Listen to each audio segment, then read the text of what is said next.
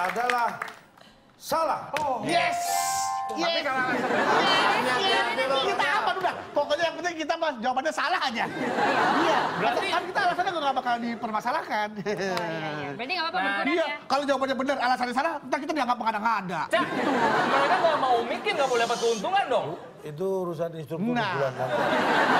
Eh tapi nggak masalah alasan kita udah cakep. Kita alasan kita pasti alasannya. benar. Kalau bener lo lihat nih. Nggak bisa, alasannya nggak diterima. Salah benar saya, tinggal alasannya Tadi nih. tim B menjawab salah karena buah kurma Nggak bisa tidak mengandung. bisa mengandung. Yang Yang mengandung manusia dan hewan. Ya. alasannya salah juga. Tim A dikurangi 100. Tim B, tim B, tim B, tim B. Makan dengerin, dikurangi langsung 100. ngomong. Tim A dikurangi 50. Lah kenapa saya? Karena menjawab terserah itu sama dengan tidak menjawab. Penghinaan terhadap kuis, Cak itu Ya. Cak. Dua-duanya minus 150, 100, Satu 100. seratus. Eh terus alasan yang benar apa? Rahasia. Alasannya yang Nggak kompromistis nih. Nih, karena penyebab awetnya kurma yang paling utama bukan karena kandungan airnya yang sedikit. Apa? Tapi karena nggak dimakan. Coba kalau anda taruh kurma di meja, itu kalau nggak dimakan bakal awet. Oh iya benar. Kalau dimakan,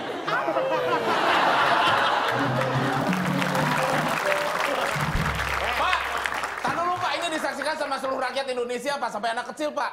Kata-kata awet Ya. itu kan biasanya jangka waktu yang lama Pak. Iya, Lama. iya. Ya tapi kan Dan kalau disimpan di kalau meja habis, mah. eh, kalau habis emang bisa tahan lama. Enggak lah, Cak. Udah Kurang perut habis. semua. Pak, Ibu Titi Puspa tuh awet muda. Emang harus dimakan supaya biar awet, awet.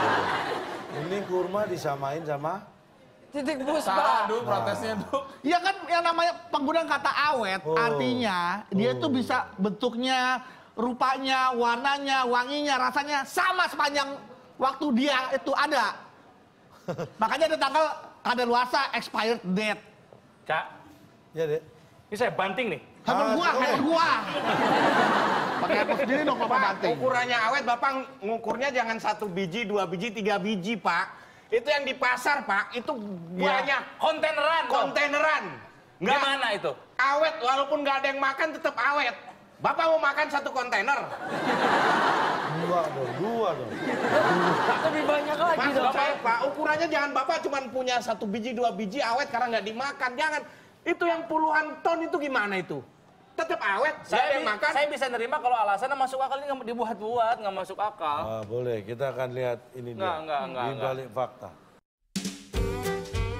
Ingin tahu alasannya? Inilah di balik fakta. Apakah Anda tahu bentuk buah kurma? Hati-hati, banyak yang tertipu. Inilah buah kurma yang asli. Jangan sampai mengira yang ini adalah buah kurma, karena ini adalah biji salak. buah kurma itu dapat dikelompokkan menjadi tiga kelompok utama, yaitu buah kurma lunak, buah kurma semi kering, dan buah kurma kering. Nah, Anda tertipu lagi. Ini biji salak. Tahukah Anda apa yang membuat buah kurma dapat awet dan tidak cepat busuk walaupun ditaruh di ruangan terbuka? Ternyata bukan karena kandungan air yang sedikit, tapi penyebab awetnya kurma yang paling utama karena nggak dimakan. Jadi pernyataan ini buah kurma adalah buah yang termasuk paling awet dan tidak cepat busuk walaupun ditaruh di ruangan terbuka karena kurma mengandung air yang sangat sedikit. Ini salah. Sekian faktanya. Selamat kepintaran Anda bertambah.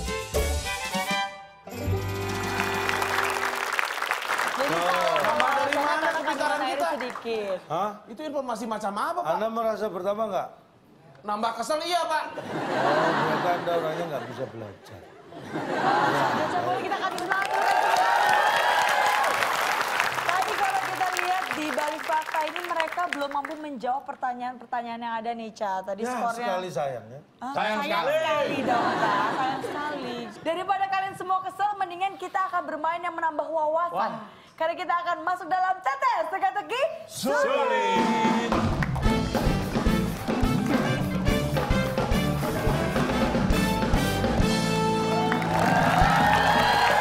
Tidak akan membuat kesal, tapi kalian akan semakin cerdas dalam menjawab pertanyaan-pertanyaan. Saya mah tadi membahas kompromistis. Akan kata bantu kompromistis. Di manakah? Waduh. Dua mendatar. Sekarang saya beri kesempatan Joanna dan Bedu untuk memilih nomor pertama yang akan dijawab. Yang dikit aja ya. ya. Gimana nomor berapa? Nomor tujuh. Olahraga menyodok bola pasti Pasti Nyolong, nyolong nih. pasti miring, miring, Pak. miring. Nah, gitu. Oke. Ini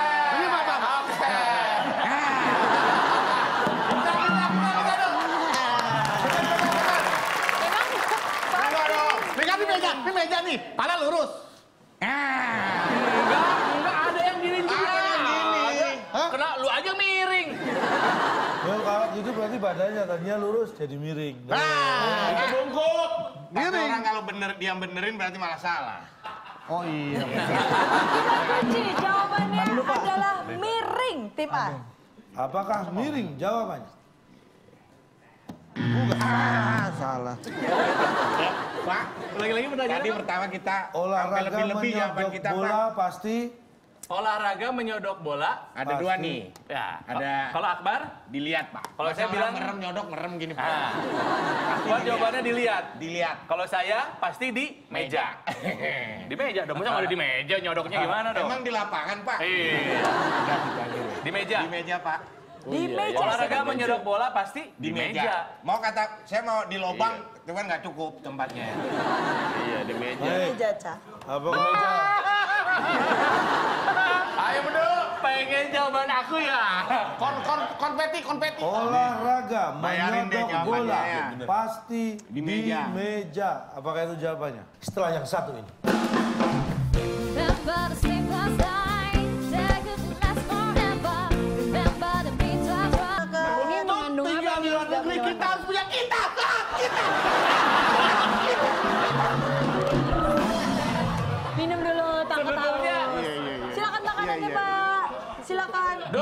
Kalah, mau nggak dapat hadiah, gua nggak apa-apa. Ini udah menang nyebelinnya nggak ada dua nih orangnya.